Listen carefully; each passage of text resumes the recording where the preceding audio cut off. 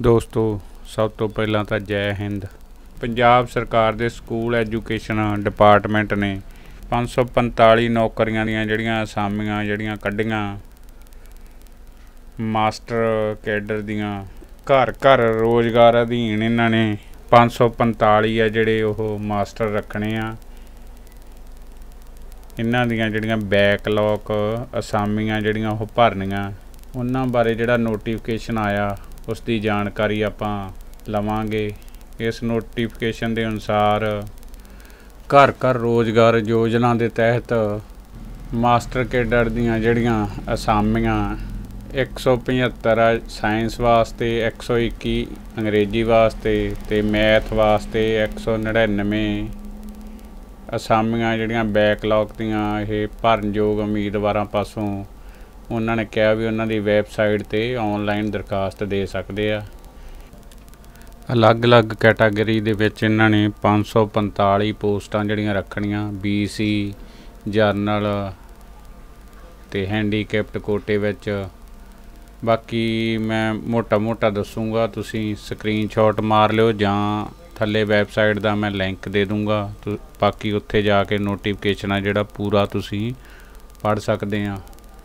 English math ਅਤੇ science ਵਿਸ਼ੇ ਵਾਸਤੇ ਇਹਨਾਂ ਨੇ ਅਲੱਗ-ਅਲੱਗ ਕੁਆਲੀਫਿਕੇਸ਼ਨ ਰੱਖੀ ਆ ਬੀਐਸਸੀ ਜਾਂ ਕੋਈ ਡਿਗਰੀ ਘੱਟੋ ਘੱਟ ਜਿਹੜੇ ਮਾਰਕਸ ਆ, ਉਹ 45% ਚਾਹੀਦੇ ਆ ਤੇ ਰਿਜ਼ਰਵ ਕੋਟੇ ਵਾਸਤੇ 40% ਚਾਹੀਦੇ ਆ। ਜਿਹੜੀਆਂ ਉੱਪਰਲੀਆਂ ਯੋਗਤਾ ਤਾਂ ਚਾਹੀਦੀਆਂ ਹੀ ਚਾਹੀਦੀਆਂ ਤੇ ਉਮੀਦਵਾਰਾਂ ਨੇ ਜਿਹੜਾ ਪੰਜਾਬ ਰਾਜ ਅਧਿਆਪਕ ਯੋਗਤਾ ਦਾ ਪੀਐਸਟੀਈਟੀ ਦਾ ਜਿਹੜਾ ਪੇਪਰ ਆ, ਉਹ ਵੀ ਪਾਸ ਕੀਤਾ ਹੋਣਾ ਚਾਹੀਦਾ। ਤੇ ਇੱਕ ਲਿਖਤੀ ਟੈਸਟ ਵੀ ਲਿਆ ਜਾਊਗਾ 150 ਨੰਬਰ ਦਾ, ਉਹ ਵੀ ਪਾਸ ਕਰਨਾ ਪਊਗਾ। 35400 ਰੁਪਈਆ ਇਹਦਾ ਪੇ ਸਕੇਲ ਹੋਊਗਾ। ਉਮਰ ਦੀ ਜਿਹੜੀ ਸੀਮਾ ਹੈਗੀ ਆ, ਉਹ 18 ਤੋਂ 37 ਸਾਲ ਤੱਕ ਹੈ। ਤੇ ਜਿਹੜੀ ਪਿਛੜੀ ਸ਼੍ਰੇਣੀ ਆ, ਉਹਨੂੰ 5 ਸਾਲ ਦੀ ਛੋਟ ਹੋਊਗੀ। ਤੇ ਤਲਾਕਸ਼ੁਦਾ ਔਰਤਾਂ ਨੂੰ ਵੀ ਉੱਪਰਲੀ ਸੀਮਾ ਦੀ ਹੱਦ ਵਿੱਚ 42 ਸਾਲ ਦੀ ਛੋਟ ਹੋਊਗੀ। ਪੰਜਾਬ ਦੇ ਵਸਨੀਕ ਵਿਕਲਾਂਗਾਂ ਦੀ ਉਮਰ ਹੱਦ ਵਿੱਚ 10 ਸਾਲ ਦੀ ਛੋਟ ਹੋਊਗੀ। ਜਿਹੜਾ ਸਾਬਕਾ ਫੌਜੀ ਆ ਤੇ ਫੌਜ ਵਿੱਚ ਜਿਹੜੀ ਸਮਾਂ ਸੀਮਾ ਜਿਹੜੀ ਆ ਪੂਰੀ ਕਰਨ ਤੇ ਉਹਨਾਂ ਨੂੰ ਵੀ 3 ਸਾਲ ਤੋਂ ਵੱਧ ਦੀ ਛੋਟ ਹੋਊਗੀ ਜਿਹੜੀ ਪੰਜਾਬ ਦੇ ਫੌਜੀਆਂ ਵਾਸਤੇ, ਸਾਬਕਾ ਫੌਜੀਆਂ ਵਾਸਤੇ। ਬਾਕੀ ਤੁਸੀਂ ਨੋਟੀਫਿਕੇਸ਼ਨ ਦੇ ਵਿੱਚ ਚੰਗੀ ਤਰ੍ਹਾਂ ਪੜ੍ਹ ਲਿਓ ਦੋਸਤੋ। ਜਿਹੜੀ ਇਹਦੀ ਪ੍ਰੋਸੈਸਿੰਗ ਦੀ ਫੀਸ ਆ ਆਨਲਾਈਨ ਦੀ, ਇਹ ਜਰਨਲ ਕੈਟਾਗਰੀ ਵਾਸਤੇ 1000 ਆ ਤੇ ਰਿਜ਼ਰਵ ਕੈਟਾਗਰੀ ਵਾਸਤੇ 500 ਆ। ਤੇ ਜੇ ਸਾਬਕਾ ਫੌਜੀ ਆ ਜਿਹੜਾ ਖੁਦ ਉਹ ਕਰ ਰਿਹਾ ਤਾਂ ਉਹਦੇ ਵਾਸਤੇ ਕੋਈ ਨਹੀਂ। ਪਛੜੀ ਸ਼੍ਰੇਣੀ ਵਾਸਤੇ ਜਿਹੜਾ ਜੇ ਕੋਈ ਲਾਭ ਲੈਣਾ ਚਾਹੁੰਦਾ ਤਾਂ ਉਹੀ ਲਿਖਿਆ ਇੱਥੇ ਵੀ ਉਹਨਾਂ ਦਾ ਸਰਟੀਫਿਕੇਟ ਵਗੈਰਾ ਜਾਂ ਸਾਰਾ ਦਰਜ ਹੋਣਾ ਚਾਹੀਦਾ। ਸੁਪਰੀਮ ਕੋਰਟ ਵੱਲੋਂ ਕੋਈ ਵੀ ਇਤਰਾਜ਼ ਨਹੀਂ ਹੋਣਾ ਚਾਹੀਦਾ। ਪੰਜਾਬ ਸਰਕਾਰ ਤੇ ਬਨਾਮ ਦਵਿੰਦਰ ਸਿੰਘ ਦੇ ਅੰਤਮ ਫੈਸਲੇ ਤੇ ਨਰਪਿਰ ਹੋਊਗੀ ਇਹ।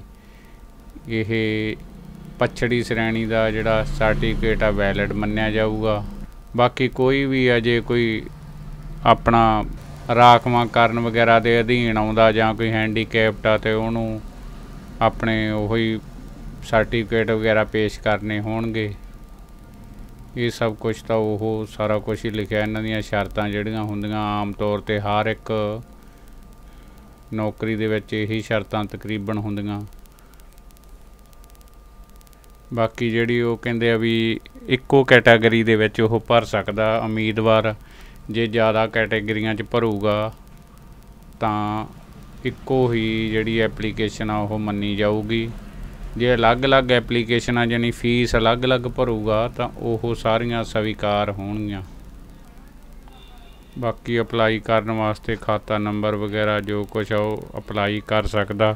ਲੌਗਇਨ ਕਰੂਗਾ ਪਾਸਵਰਡ ਮਿਲੂਗਾ ਈਮੇਲ ਤੇ ਉਹਨਾਂ ਨੂੰ ਪਾਸਵਰਡ ਵਗੈਰਾ ਆਊਗਾ, ਤਾਂ ਉਹ ਆਪਦਾ ਲੌਗਇਨ ਹੋ ਸਕਦਾ।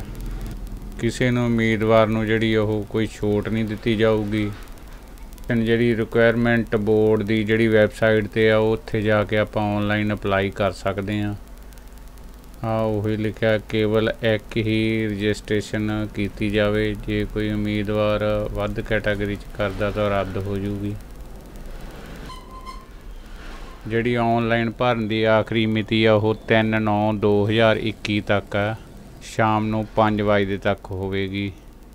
ਬਾਕੀ ਇਹ ਮੈਂ ਮੋਟਾ-ਮੋਟਾ ਦੱਸਤਾ ਤੁਹਾਨੂੰ, ਮੈਂ ਥੱਲੇ ਇਹਦਾ ਲਿੰਕ ਵੈਬਸਾਈਟ ਦਾ ਵੀ ਦੇ ਦੂੰਗਾ ਨੋਟੀਫਿਕੇਸ਼ਨ ਦਾ ਲਿੰਕ ਵੀ ਦੇ ਦੂੰਗਾ। ਤੁਸੀਂ ਚੰਗੀ ਤਰ੍ਹਾਂ ਪੜ੍ਹ ਕੇ ਆਪ ਤੈਨੂੰ ਆਨਲਾਈਨ ਫਿਲ ਕਰ ਸਕਦੇ ਮਿਹਰਬਾਨੀ, ਧੰਨਵਾਦ।